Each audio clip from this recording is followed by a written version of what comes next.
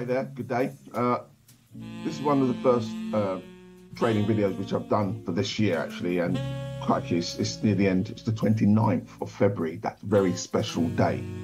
Now, uh, tune in uh, if you are looking or would like to see an opportunity, uh, because it's not often that I give out my views as to market directions. I usually do about what I've done as opposed to what I think is going to happen. So, as I said, I have not been trading uh, recently, uh, and that's been put on the back burner.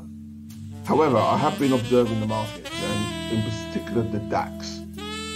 I want to go over the DAX right now. Uh, let's get this up on the mainstream because it's quite exciting, really, if you want to make some money. Now, you are, if you're watching this, it is assumed that you are an adult. It is assumed that you are compos mentis and you are in control of your own faculties. If I say jump into the lake, it's your decision if you want to jump into the lake. If you want to put your hand in the fire, it is your decision to put your hand in the fire with the consequences. So, if you want to do this particular trade, which I'm talking about, it's entirely up to you. If you lose all your money, that's on you, not on me. I'm just coming up with the ideas. Good. Now we've got that out of the way. So, uh, as we can see, uh, the market has been trending uh, over a period of time. This is going to take it back on the uh, the hourly chart. Yeah, in fact, we have to go further out into the daily charts. So, what we see here, uh, there's an old adage of uh, buy on the cannon and sell on the bugle. That is to say, buy at the start of the war and sell near the end of the war. And as we can see here, yeah, around October, you could say sort of well, October the 7th, that is to say, was around here. Okay, October the 7th around here.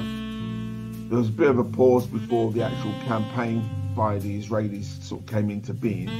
And literally what you see from late um, October is a continuous upward trend. However, during uh, the Christmas period, that sort of stalled Yep, it's stored until you get the blended candle. Now, a blended candle is simply a bit like a hammer, but it's uh, it's done over a two-day period, and the depth of the blended can handle is uh, is quite quite juicy. I think it's about 100 points. Have a look. Uh, yeah, then, yeah. So it's just uh, under uh, 200 points down and 200 points up and that is always a good uh, buy signal. Yeah, if it's the reverse, and if that was green and that was red, then I would have shorted it. Here, certainly, you put your, your, your buy order in, go long, and put your stop there. Uh, it's not too late, and this is the, this is the main thing which I want to sort of uh, emphasise you guys. If I may, it's not too late uh, to participate in this trade. Let's go in horizontal on one. Right. So in trading, it's not exact, but in trading, what you need to look at are the big figures. The big figures themselves often act like magnets. And the big figure we've got here is 18,000. 18,000 would be the highest the DAX has ever, ever achieved since its inception. Um, 20,000, I'd say, is a massive big figure, and that is quite achievable for this year. But in the short term, short term, I mean over the next uh, few days, uh, longest weeks, yeah, we're looking at 18,000. So if we look at here, it's very simple 17,695, we'll say 17,700 for short, yeah. We're looking at a 300 tick move, yeah between where we are now to the big figure is 300 ticks. I was going to do this yesterday, unfortunately it's gone up by 100 ticks. Now there's going to be a bit of a drawback. Okay, so how do you trade this? How do you make money from this? Okay, so uh, an easy way would be a call option to buy a call, uh, a three month call option, uh, and put your money in. That way you have a determined risk. You know exactly how much you would lose. Have it over a three month period and have the target of, I'll give it a target of um, 17,800. So an extra 10, sorry, an extra 100 uh, ticks, if you like. But you want it to go to 18,000, right?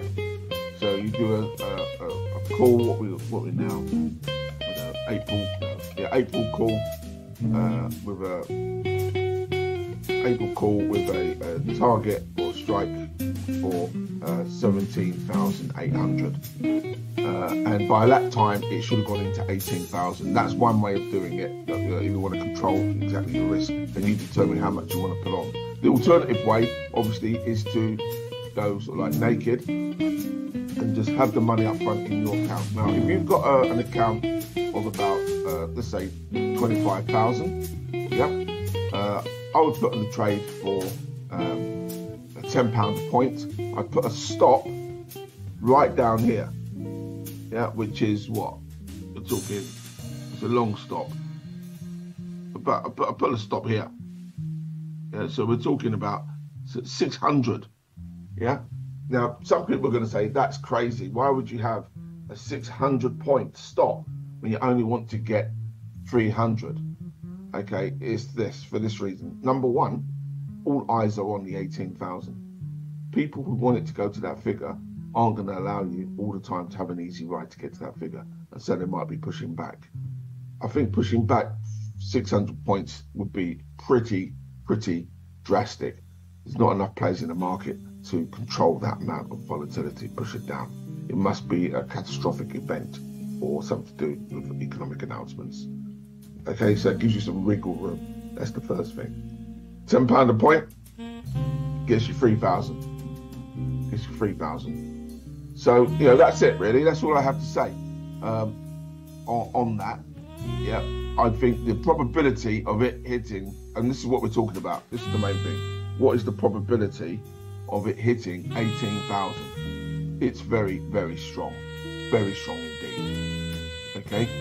And that's, by strong, I'll give it 75% probability that it would hit 18,000 in the next, let's say, six weeks.